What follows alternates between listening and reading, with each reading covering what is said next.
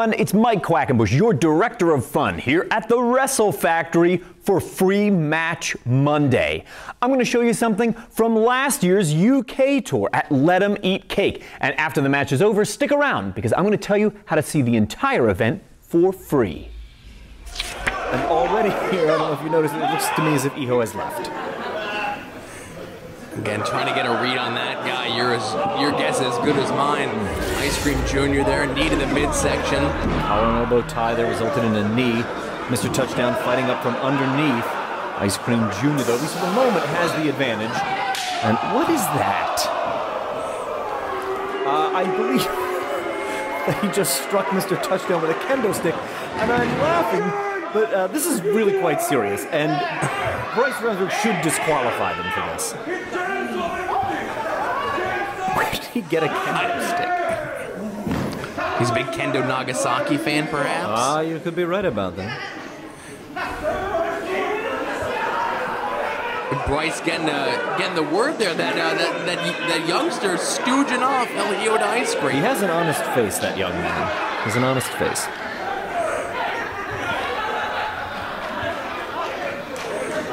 Well, Bryce Remsburg is going to make certain that justice is done here in a moment, fans. Mr. Touchdown with a samurai sword. No, I did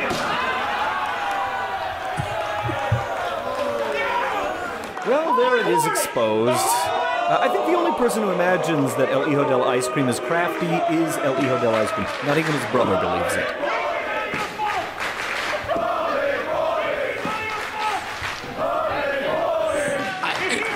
Like to sit down one day with Ice Cream Jr. He's a very he's a very uh, private, very secretive individual, mm-hmm. and just ask him, why do you keep teaming with your brother? Mm-hmm. Are there is there anyone else in the family you can get as a tag team partner? Right, maybe Dad would come out of retirement. Oh, Ice that's right.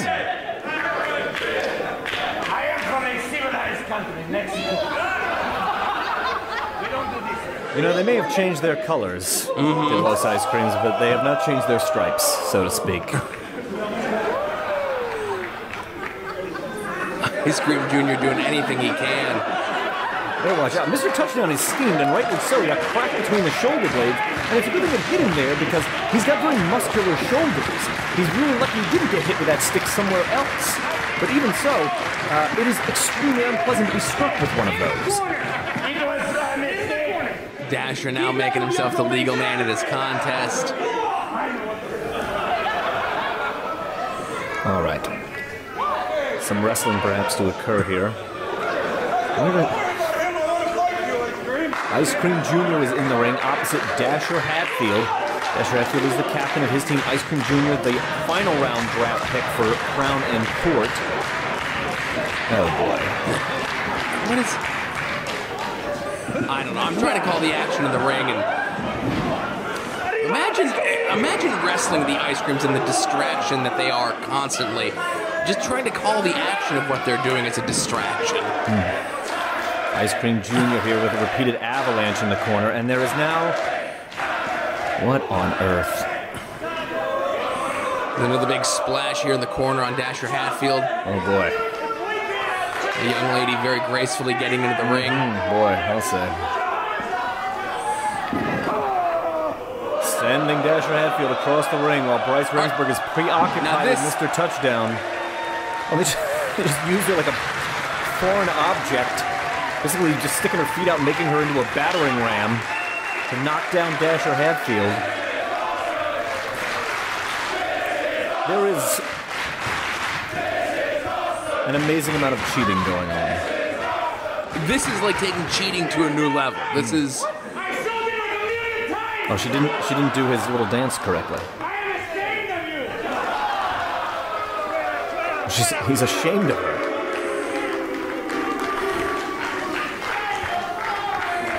I, I, would like to think that maybe this is part of Los Ice Cream's game plan. Mm-hmm. I, I, I don't know. Do you think they have strategy meetings? Uh, you know what? I mentioned before I'd like to have a one-on-one conversation. Scratch that. I want to be on Los Ice Cream's uh, strategy situation. That would be recorded for posterity. I would I would share that with the world. Like a PBS documentary. Oh boy. Ken Burns on that stat. The throwbacks here finally starting to get it to come together. Their tandem offense, pair of flying headbutts follow the double hip toss. Now they're starting to wrestle their game a little bit. And that's what you've got to do because, I mean, the ice creams will do everything but wrestle if you give them the opportunity.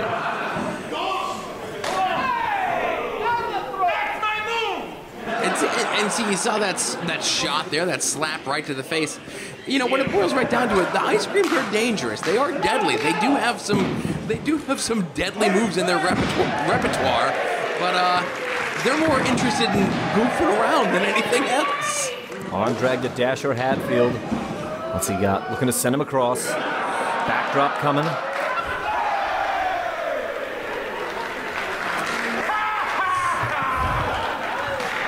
And see, that's where he claims victory. Does El Hijo to ice cream?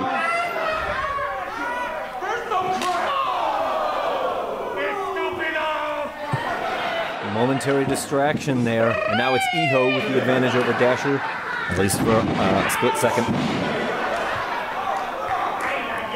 Sent into the buckle is El Hijo to ice cream. Dasher maybe playing a little game of his own here. Oh, and that one is out of here, Leonard. It's time to round the bases. Do they have baseball in England? Uh, I believe they do. I don't think it's very popular. Bryce getting a little double pay there as an umpire says he's safe. El Hijo to the outside, just as uh, legal as a hand-to-hand tag. Ice Cream Jr. now the legal man of the contest. That's the way you used to see in a tag. Touchdown into the ring. Looking for La Tapatia is Dasher Hatfield, but he's just going to use the submission hold to set up his partner, Mr. Touchdown. Take a look at this tandem offense from the throwbacks, our former campeones. I think it'll be nothing short of a major upset if Los Ice Creams were to defeat the former champions here today in Wolverhampton. These series of splashes are a touchdown trademark. A bit of an upset, you say, Mike? Major. Major. El Hijo on the ice- outside here. A little time to celebrate that mm-hmm. small victory. Right. Big celebration for a small victory. That's right. The little ones do count. They do matter for something. And I think Touchdown is just about fed up with El Hijo to ice cream at this point. Well, can you blame them? Every opportunity the ice creams have had to outright break the rules. Oh, this time it was Hijo being used as the battering ram by Junior. That's the kind of tandem offense you can expect from Los Ice Creams.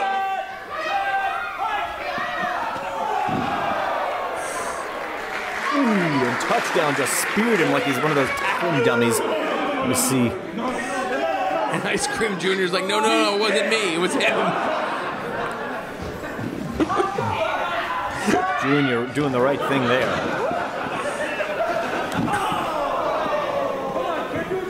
Oh, and very quickly there. Right as touchdown was sliding in, Ice Cream Jr. elbow dropped him to cut off his momentum. Only a one count big leg drop here, perhaps. Well, that's what you got to do. You got to string a couple moves together. But you see, Mr. Touchdown was out at one, if not before. Mr. Touchdown's got a lot of fight in him. Every single member of the roster wants to make the best possible impression before these great UK fans who for years have been demanding Chikara come across the Atlantic. Finally, it has happened. Nobody wants to disappoint. Some 30 or more members of the roster are here to make this UK tour everything that the fans had expected it to be. I don't see that working. I have no idea what to make of that pin. There's stomp to the face, touchdown in here, brought back into the corner. They have, they have brief glimpses, brief moments of brilliance, do Los Ice Creams. Ice Cream Jr. here, trying to. What's he got there? Hmm, trying to jam him up. You can see the way he was clutching at his ears there. Those kind of moves, too, they're very easy to cauliflower up an ear. And uh, Mr. Touchdown is in a world of hurt. I don't really feel like he's in danger of losing the match, but he has absorbed quite a bit of offense at this point. I, I, as I said, I, I think it'd be nothing short of a major upset if the Ice Creams were to pin either of these guys, either Hatfield or touchdown. Listen, eh, this could be the beginning of their streak. This could be where they turn it all around here in the UK. What if, Mike? And again, what if they're super effective here in the UK? Maybe they'll never leave and they'll become UK sensations in the world of wrestling. Stranger things have happened. Uh, the ice cream sandwiches follow the two scoop slam. Another one of these bizarre pinning combinations. He, you can't say, oh, he didn't hook the leg. He, he did hook the leg in the weirdest way possible. Looks like a chin lock here. As Mr. Touchdown, he's kind of bent back there. You can see his legs are underneath him. That's a tough spot to work your way out of. You got to back bridge your way out and turn his body in.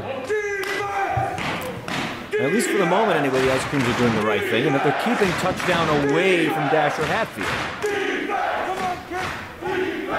Oh boy. Sending into the double boots there of Ice Cream junior mm-hmm. in the center of the ring. Touchdown knew where he was though. He tried to stick his hand out to see if he could sneak a tag.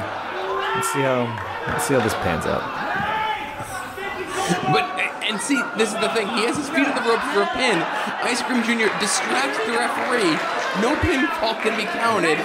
I don't understand the strategy, Mike. I, I want to imagine it's like a blackboard that's filled with oh. like the crazy notations, like in an episode of Lost, and like that's what their strategy is like, and then it just gets out there and it all falls. I was gonna say, and that's the thing. Maybe on paper their plans work, and then as soon as they come out through the curtain, they're just distracted and forget everything. Uh, I've certainly trained wrestlers over the years that I'm aware of that they have great strategy. You know, they study their opponents, but then they go out there and the lights hit them, and they're in front of a live audience, and they get nervous, and that game plan just falls apart. But these guys have been around for nine years, and that's the kind of mistake you make at nine months, not nine years. Trying to avoid touchdowns, at least for the moment there. They're picking and choosing their shots, and they, they have isolated touchdown for a few minutes. And Mike, you put it uh, you put it very well before. They're not in any danger of losing or the throwbacks, but touchdown has taken a lot of punishment and continues to do so. What's he doing here? Reminds me of Yokozuna. the little bonsai drop. Not the same effect as Yokozuna, but still very effective. Coming crashing down on the sternum there, just essentially knocking the wind out of you. Especially if you do that during uh, an inhalation. If you do that while the man is inhaling, it is very dangerous. You hear the crowd here firmly behind the throwbacks, chanting for defense, wanting to get touchdown to make a tag. Now here on the outside, pulls him out, and now touchdown's outside the ring. That's just as good as a tag. Where's Dasher Touchdown. though? Mm, well, I thought he was making a mistake, but obviously not. He's outsmarted Hijo. Now touchdown. Look at that. With the greatest of ease, slingshots himself into a flying shoulder tackle. Reminds me of Jim the Anvil Neidhart back in the days of the Hart Foundation. Junior, though, was quick to put an end to that. And, mm, you see what's going on over here? I do see that young man uh, who ratted out El Hijo de Ice Cream before Dasher has brought him back up onto the apron. As there's a little bit of a di- uh, dissension here, a little bit of a disagreement between Los Ice Creams. Not the first time, probably not the last time this will happen between these two. I do feel like Ice Cream Junior overall is like the ring general of this. Oh, sure. If I was him, I'd look to maybe get a singles run going. You Talk to. talk to him. You should I, speak to him. I, listen, it's on my list of things to do. I heard they're on Twitter now, so Oh, you should see if you can't uh, set up a Skype or something with Ice Cream Junior.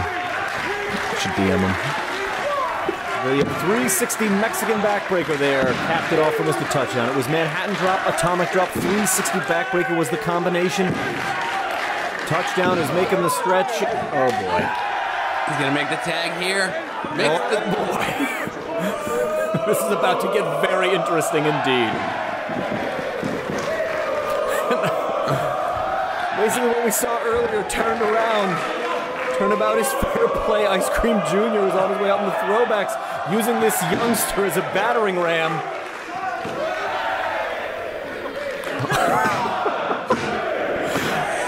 Good grief. And Bryce Remsburg registers the three count. I can't wait to hear. Let's go down to our ring announcer, Gavin Loudspeaker, for the official word on this one, fans.